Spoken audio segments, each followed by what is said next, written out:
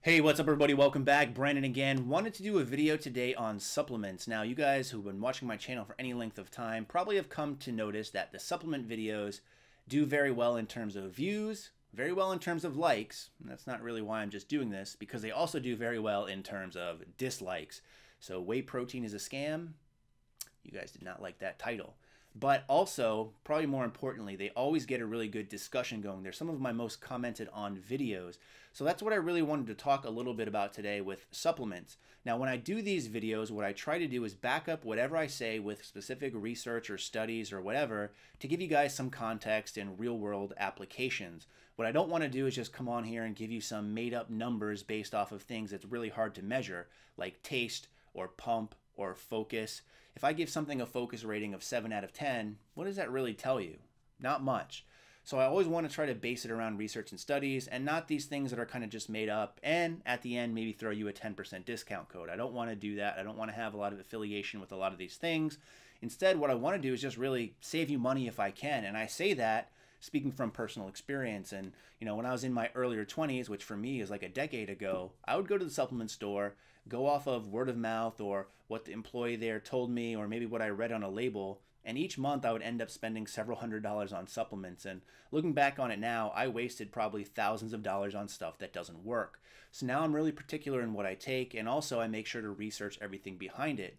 That being said, I also really kind of push you guys to do some of your own research, or if you disagree with what I say, I ask for research to back up your own points because I'd be interested in reading it. Now, for this, I know sometimes it's very hard to find information. We're not sure where to go. And as we all know, the internet is a hell of a thing, and you can pretty much find anything on the internet. And I mean anything, if you know what I'm saying. So as part of this, I wanted to point you guys towards a site that can really help you. It's called examine.com. So let's go ahead and take a quick look at it. So here's the main site itself of examine.com. It's pretty simple and easy to navigate. It has a search bar up top so you can type in whatever supplement you want and it will give you suggestions just like Google does as well. They also have it broken into supplements and nutrition for most frequently searched items. In this case, while we could just go ahead and type something in, I'm going to go ahead and select something that we're all probably overly familiar with, which is beta alanine. That brings us to the main page itself where it's going to give you some information up top on the supplement that you've chosen to search for. On the right hand side, you'll find an index to skip to different points of the article.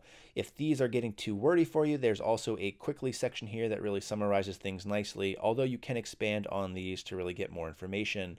One of the cool sections on here is something called how to take. So for beta alanine, it notes a 2 to 5 gram dose is the suggested serving size. However, it does note that some people have issues with tingling sensations, and it says you can split the doses up into several times per day.